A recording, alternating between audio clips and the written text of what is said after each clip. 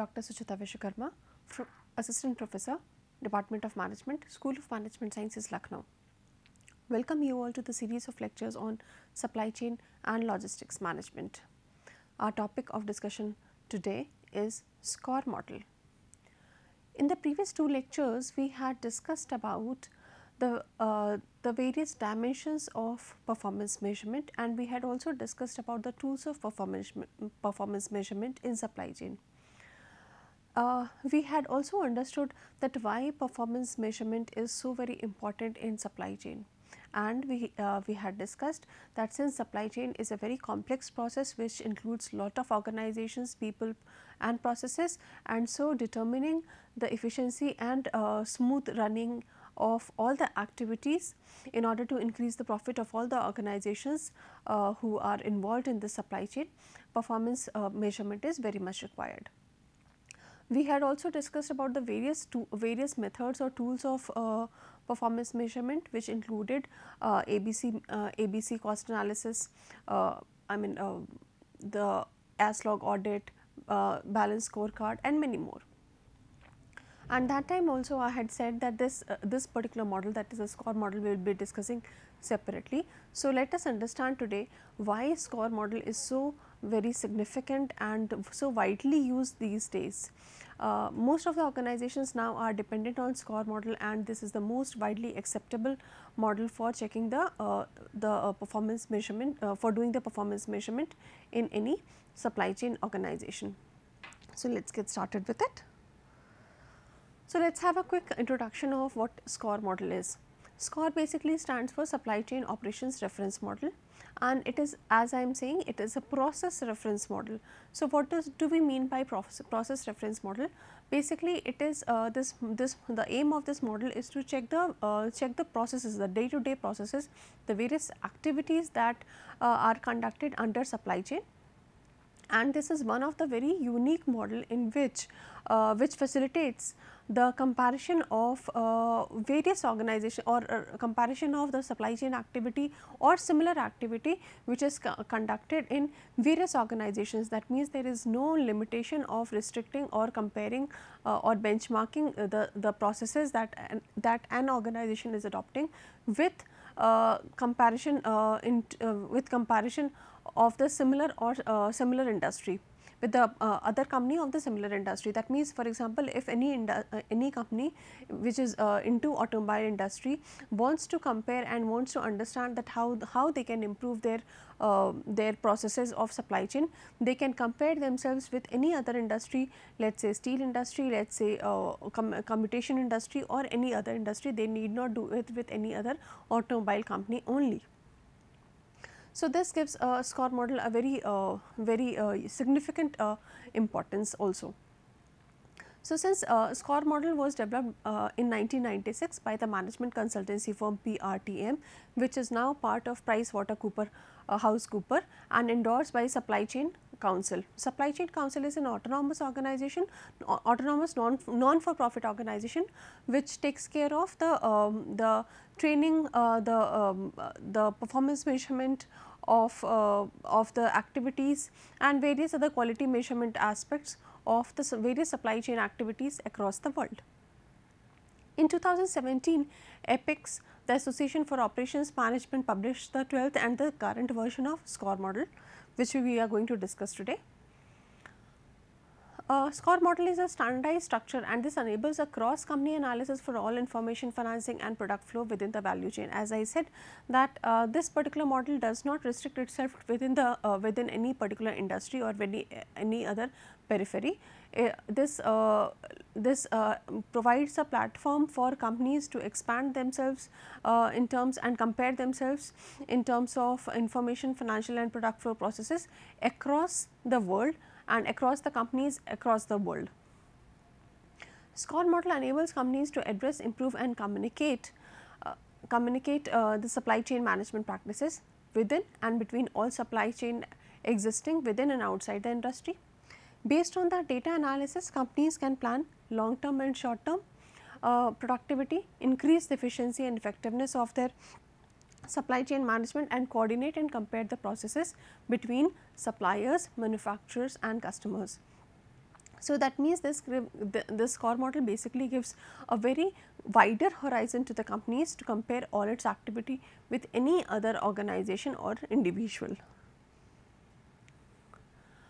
Now, uh, before we talk uh, in depth about SCOR model, we, we should also understand that what uh, SCOR model covers. So, as I said earlier that SCOR model is basically a process reference model. So, it takes in consideration all the processes included uh, pro processes included in the in the supply chain and uh, the key assumptions are that the training quality and information technology as well as administration are always supported uh, during all the uh, processes of uh, the supply chain activity.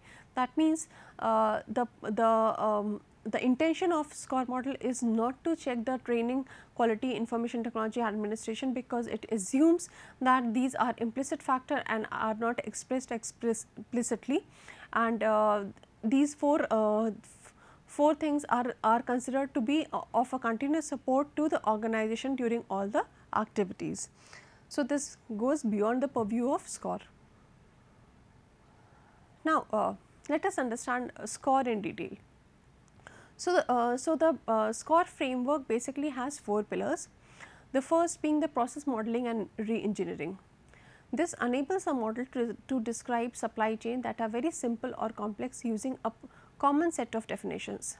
So, basically process modeling and re-engineering basically talks about the various processes that are adopted by companies for uh, during the uh, supply chain processes and uh, in this SCOR framework all the process of uh, supply chain are uh, defined by some common set of standards and and uh, are uh, uh, do come under common set of definitions and this uh, this concept gives an ease to the company to any of the company to compare themselves with any other company of any other industry as well.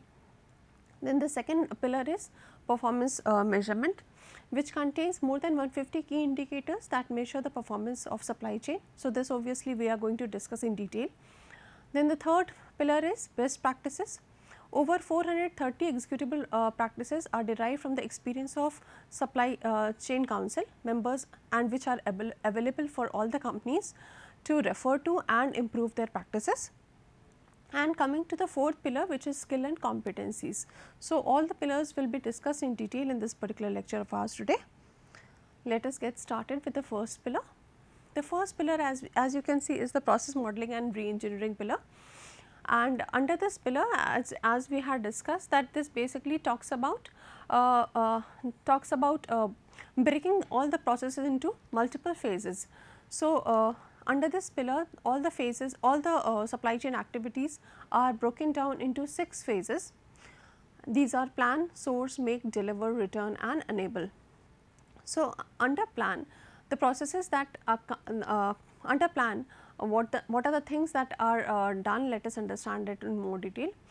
Planning is basically uh, basically about the processes that combine demand and supply to develop a course of action which best meets the sourcing, production and delivery requirements.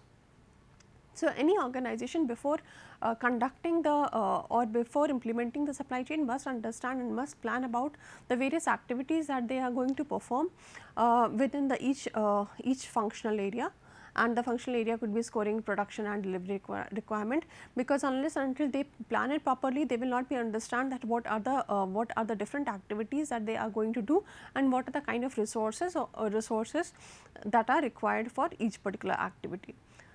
The second uh, phase is of source. This includes the processes that are related to procurement of goods and services to meet planned or actual demand. Then comes the third phase which is make make uh, includes the processes that transforms product to finished state to meet the actual uh, demand. The fourth stage is deliver. This includes the processes that provide finished goods and services for meeting up the actual demand and typically includes order management, transport management, distribution management kind of services. Then the uh, fifth phase is return. Return talks about all the processes which are associated with return or uh, return or receiving returns of the product for any reason. It could be for repair, it could be re for refill, it could be for exchange or any other. And the sixth stage is enable. This includes the processes which are being associated with the management for implementing all the activities smoothly in the supply chain. These processes include management of business, rules, regulations, contract facilities, supply chain management, management regulating and risk management. So, these are the various uh, phases of first uh, first pillar and obviously okay let us have a look of look of uh, the different phases. As you can see this is a typical model of supply chain where this is your company sorry where this is the company the, the company has its suppliers and supplier to have their suppliers. That means for example if i uh, i say that if uh, my company is into let us say is into uh, hotel industry so, I would be requiring, requiring certain kind of uh, materials from my suppliers let, uh, or let me take an example of a restaurant industry and I have a restaurant and I would be requiring various kind of suppliers. So, let us uh, take an example that I am not so uh, I am outsourcing my bakery kind of bakery units and uh, my supplier is providing me with all the bakery items. Now, obviously, this supplier would also require the, require to have suppliers to provide them various kind of raw materials for the bakery. Now, coming to the uh, to the forward channel uh, forward uh, line of the supply chain, I do have uh, my customers they could be the retailers also they I, I may be uh, offering the uh, offering the products also to to some other uh, to some other smaller restaurant or to some other uh, maybe hotel or something and then my uh, the end term customer. So, over here if you see that this complete supply chain has been broken into different phases as you can see from the spotted lines. So, for the supplier supplier I mean for this company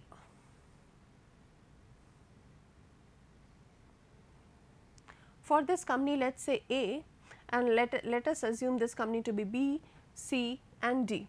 Now, for this for uh, for the transaction or interaction that is happening between company A and B, A is the seller while B is the buyer.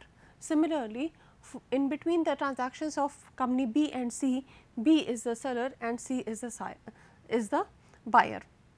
So, over here you can see that they all this phase are having these the combination of these uh, 5 uh, phases that we had discussed earlier in the pillar 1 that is uh, plan, uh, I mean return score make deliver and uh, obviously return. And planning is obviously an intricate part of all, all the activities. So, any company for example, this is, this particular company B if has to do certain things they will have to plan. Then they will have to source it from their supplier A. They will have to make they will have to deliver it to the uh, to the uh, company C and if in case company C returns anything that will then it will come back to uh, company B and company B do also has a chance to return certain things if not required to company A. So, this means this particular uh, com combination of 5 phase is happening at each stage. It is happening with C also, D also and everywhere. So, every organization is basically required to to break down each sub, uh, each uh, phase in, into these uh, each uh, supply chain activity into these phases and then try and understand that what are the different activities or different processes which comes under all these phases. Now coming to the levels of SCOR model. Under pillar 1 itself the SCOR model says that the levels uh, that the SCOR model is divided into uh, three levels which are taken into consideration of uh, the SCOR model. However, there there is an existence of a fourth level 2 which is not which does not come under the purview of uh, of SCOR model. So, let us understand all of them uh, one by one. Level 1 basically talks about defining the scope including geographies, segment and context. That means, under level, level 1 the top management will be taking in consideration that what are the what is the scope of uh, of conducting the activities, what are the geographical areas that uh, that the organization needs to cover, what is the segment and the context in which they are working. And at this level the, the focus is on uh, performing the 6 main uh, process configurations that is plan, source, make, deliver and return.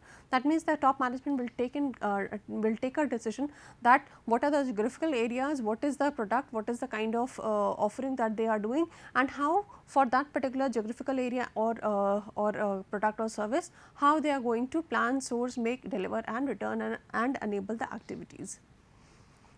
Under level 2, the the supply chain is uh, divided into various configurations and the three configurations that are available uh, as per the SCOR, SCOR model are M1, M2 and M3. So, M1 basically talks about making build to order scenario, uh, M2 talks about make build to uh, sorry M1 talks about make build to stock scenario, M2 talks about make build to order scenario and M3 stands for make engineer to order. Now, over here we need to understand that what, what does it actually mean. So, basically there are companies who are uh, adopting a push and pull strategy which we had discussed earlier itself. So, push is a concept where the companies are preparing uh, preparing the product uh, in anticipation of the demand or the demand forecast forecasted by them and they are uh, preparing the products and keeping them in the warehouse or stocking them somewhere and then making it available whenever the demand comes. So, they are not actually waiting for the demand and then they are producing, they are pr producing before the actual demand arises. For example, let us take, in, uh, take the example of seasonal uh, uh, fruit juices. So, mangoes are available certain uh, during certain season only. So, a company who is uh, basically into mango fruit juice, preparation of mango fruit juice may prepare it in advance and keep it in bottle and, and ready for the consumption in the later seasons.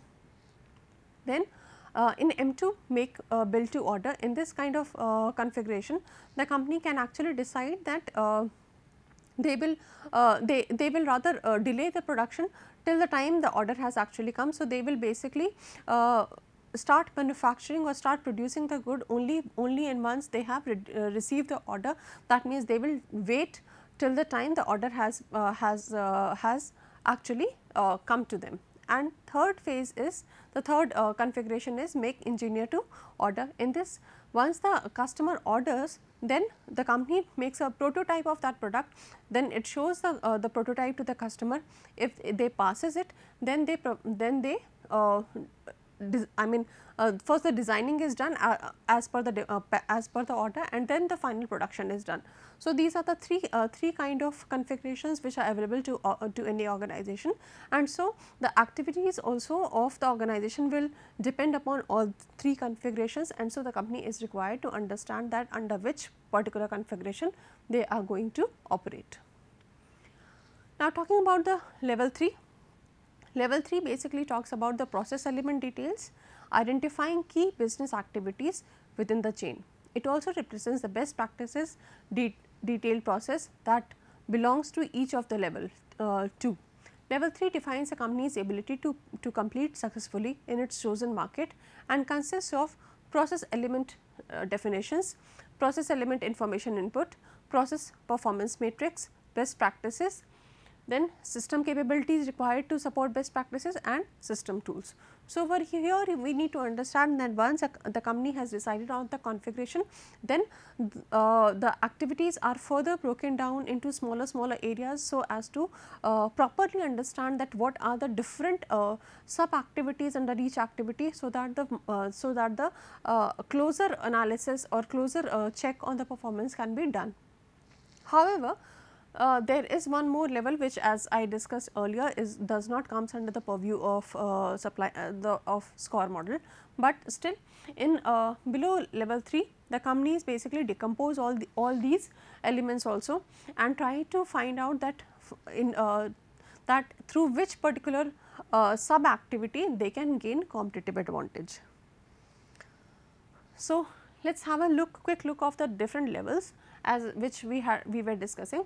This is the level 1 which basically talks about the 5 phases that is plan, score, make, uh, deliver and return and takes in consideration the context, geography, segment and of the product. Then level 2 talks about the build to stock, build to order and engineer to order kind of things and and uh, which kind of configuration has to be chosen for which kind of uh, geographical uh, uh, segment or offering and then level 3 uh, talks about identifying the business activities. So, once this has been done the company tries to break it down to different kind of activities and which are again uh, named for example, uh, uh, over here you can see M201. So, if the company has chosen the M2 that is make build to order then they then the configuration of uh, at this level will be M2.0.01, M2.02 and hence thereby. Now, uh, talking about the second pillar that is performance measurement, this uh, this uh, performance measurement uh, pillar basically is used to uh, used as a unified system for more than 150 key performance indicator which are hierarchy uh, which have a hierarchical structure. The KPI that means the key performance indicators are used for internal evaluation of performance and external analysis of the supply chain and are assigned uh, to each details of the SCOR model. Supply chain carry, uh, can be split between uh, the internal and the external fa uh, facing uh, units. This is something that I will show you just now. And then the performance attributes are characterist characteristics of supply chain that permits it to be analyzed and evaluated against each other and competing strategies. So, let us have a look. this is what we were talking about. These are the different hierarchies under the pillar 2. These hierarchies over here are not analogous to the different levels that we had discussed in pillar 1. So, let us not let us not get confused with them these are the hierarchies of level 2 itself and they have different set of uh, activities which are mentioned and according to these uh, according to these hierarchies the, the sub activities are identified and accordingly the uh, the I mean uh, performance indicators are also um, uh, also identified. Over here I have uh, shown a small matrix which basically shows the different performance indicators and the matrix uh, that are that comes under the level 1. So, over here as you can see that the performance attributes are divided into two phases the, the customer facing view and the internal view. Customer facing view basically talks about all those performance or those indicators in uh, or rather all those processes in which the company is going to interact with the customer and so what kind of responses or what kind of feedback should come under uh, come uh, or what are the uh, what are the matrix that can help the organization understand that whether the customer is preferring the company or liking the performance of the company or not. So, so uh, it, it is divided into various uh, segments for example, the reliability, responsiveness and flexibility whether the organization is uh, providing a reliable service and is responsive responsive to the frequent changes or the or the, the changes of, of the customers uh, according to the customer's need or need or so and whether they are able to flexible, flexibly adopt to the changes. And then talking about the internal facing that means all those metrics which are related to the cost and the assets utilized by the organization itself. So, there are multiple there are various indicators and these indicators accordingly help the company to understand that how their performances can be measured. Then talking about the pillar 3 this talks about the, uh, the best practices. Over 500 executable uh, pract uh, practice uh, practices derived from uh, have been derived from the uh, S, supply, supply chain council or members of the of the supply chain councils which have which can be referred by any organization who is adopting SCOR as a performance measurement tool. And over here you can see that these best practices are, are again divided into uh, different categories the current structure proven repeatable and method and the method.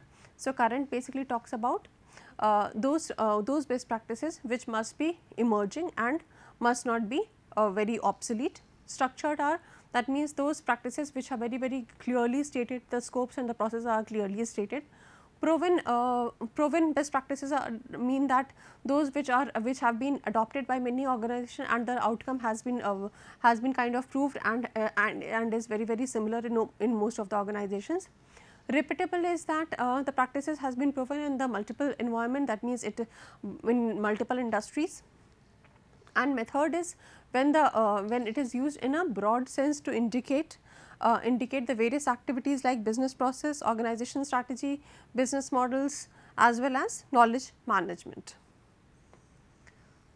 Now, talking about the fourth pillar that is skill and capability.